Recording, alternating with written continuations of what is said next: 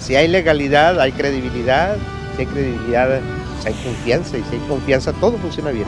Es el respeto a la ley y que nadie está sobre la ley. Hacer todo conforme a las reglas establecidas por el gobierno y a su vez por la misma población. Legalidad, valor de la democracia. Confío en la democracia que sea lo que este, haga valer esas leyes.